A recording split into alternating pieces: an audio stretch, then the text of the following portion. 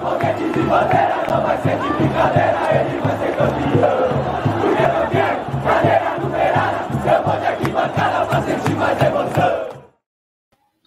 Fala galera do Arquibancada Tricolor, eu sou o Pravato, estou vindo aqui para a gente falar um pouquinho sobre o São Paulo 1 Flamengo 3. Derrota muito dolorida né, no primeiro jogo da semifinal da Copa do Brasil nesta quarta-feira. Bom, e antes da gente falar um pouquinho sobre isso, né, só pedir o like para vocês, inscrição aqui no canal e também para quem puder ser membro, né, para ajudar o Arquibancada Tricolor uh, e também acessar o nosso site que é o uh, www.arquitricolor.com. Então vamos lá, quem puder dar uma força aí para a gente é sempre bem-vindo para a gente poder continuar fazendo esse trabalho aqui muito importante, né, esse trabalho independente de qualidade que já está no ar há 14 anos. Inclusive, tem aqui ó, um QR Code para você poder fazer um Pix, qualquer valor, quiser mandar um centavo aí, fica à vontade. Tudo é muito válido para nós. Bom, uh, primeira coisa, o São Paulo jogou de igual é, para igual com o Flamengo. E isso não sou eu que falo e nem mesmo as estatísticas, né? Isso é a declaração do Mauro César Pereira, grande flamenguista. Uh, muito conhecido por suas polêmicas e tudo mais, mas o Mauro César foi bem claro, né, que o São Paulo de Rogério Ceni amassou o Flamengo de uma forma que o Palmeiras não fez e nem o Atlético Mineiro. Então, ou seja, uh, o São Paulo jogou bem, jogou de igual para igual, o 3 a 1 não reflete, né? No caso, 1 a 3 não reflete aquilo que aconteceu dentro do jogo do Morumbi.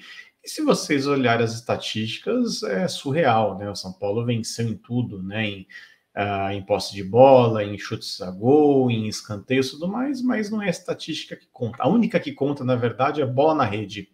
E essa, infelizmente, São Paulo só colocou uma para dentro, o Flamengo colocou três uh, e venceram o jogo e deram né, um grande passo rumo à final da Copa do Brasil. E a gente uh, já sabia também que era muito, muito, muito difícil mesmo, né?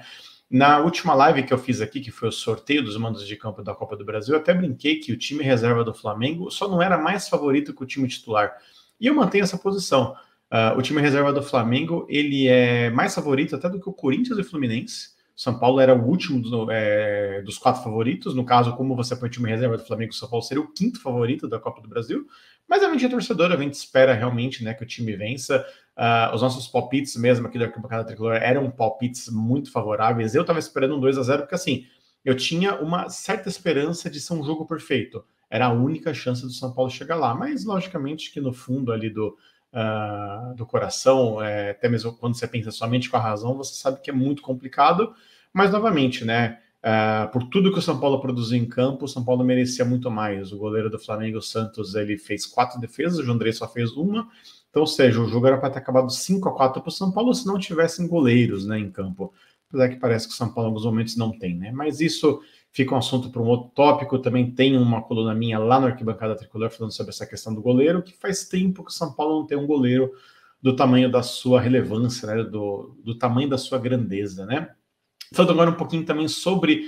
Uh, é assim, antes de falar esse termo, eu quero só negociar um negócio aqui com vocês. Quando eu falar sobre a torcida do São Paulo, eu não estou falando sobre toda a torcida.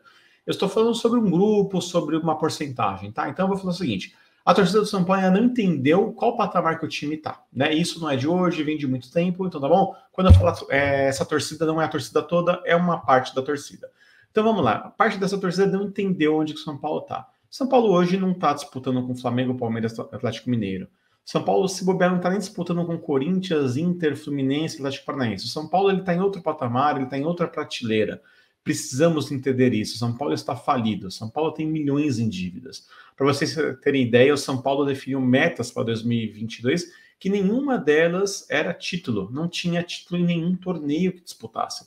São Paulo teve duas metas de final, que era uma no Paulistão, onde foi atingida, uma na Copa Sul-Americana, que estamos a um passo de lá, uma quarta de final da Copa do Brasil, que alcançamos, até dobramos essa meta, e também um sexto lugar do Brasileirão, que, na minha opinião, vai ser muito complicado de conseguir.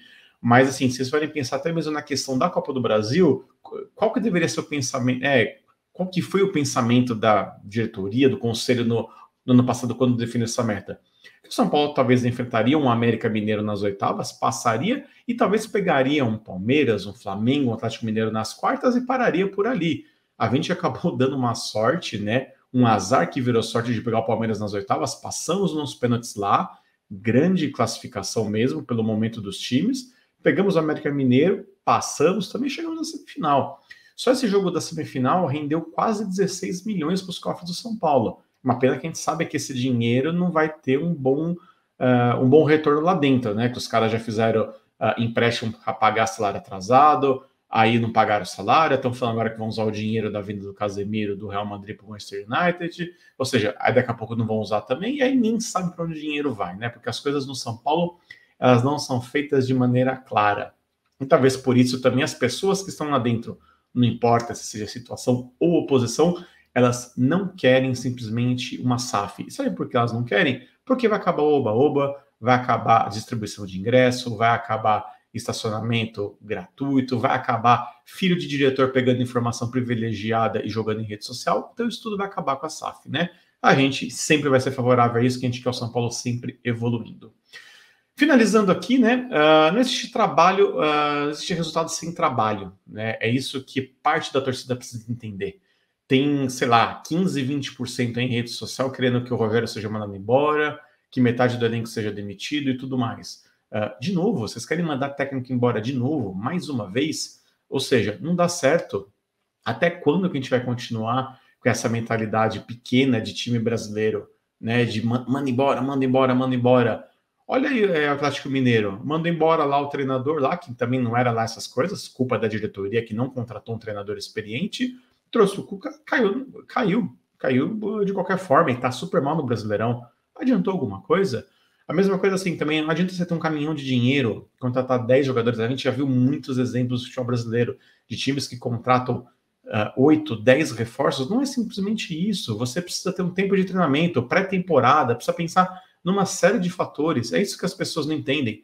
Uh, esqueçam que é, a temporada 2021 do Rogério. O Rogério treinou o time por 13 jogos, não deu tempo de fazer nada. Ele basicamente assumiu o time do Crespo, novamente, que não deveria ter sido mandado embora, uh, só acertou a casa ali para não ser rebaixado. O trabalho dele começou este ano.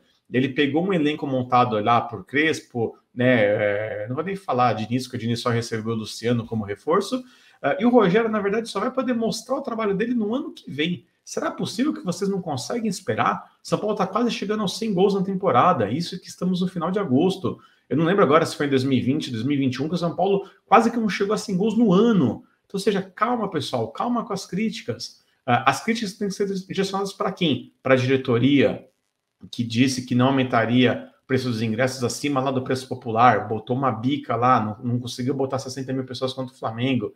Tem que criticar a diretoria que não foi atrás de goleiro, que trouxe o Felipe Alves acima da, da hora só para a Sul-Americana, que trouxe o Bustos é, e o Ferrarese também só para a Sul-Americana. O São Paulo a gente precisa criticar as pessoas certas. Não adianta ficar pedindo a cabeça do Rogério aqui, tem que dar tempo para o cara trabalhar. É, agora vai acabar essa temporada, ele vai ter uma pré-temporada. A gente espera que o São Paulo realmente faça uma pré-temporada decente, que não comece a jogar com 20 dias de novo no Paulistão, para a gente poder ver os frutos. E aí tirar esses jogadores que realmente não agregam nada, tipo o Éder, que ganha 600 mil reais e infelizmente a gente sabe que não tem agregado mais nada.